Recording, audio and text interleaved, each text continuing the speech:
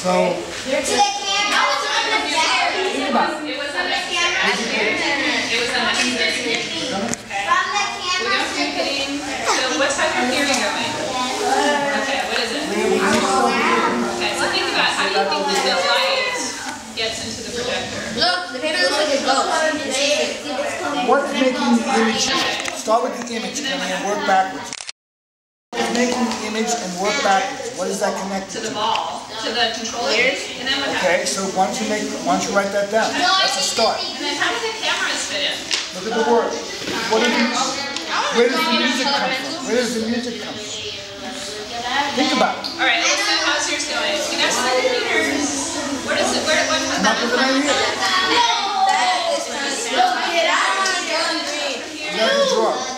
Right. I'll get you a pen if you need it.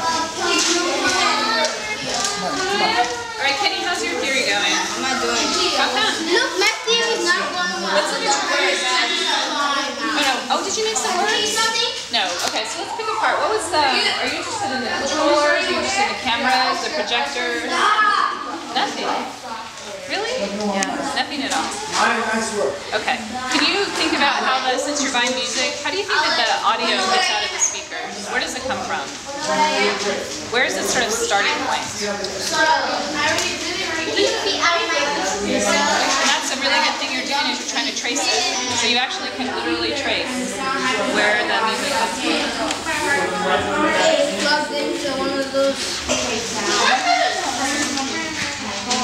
Okay, and then where does it go? To the computer.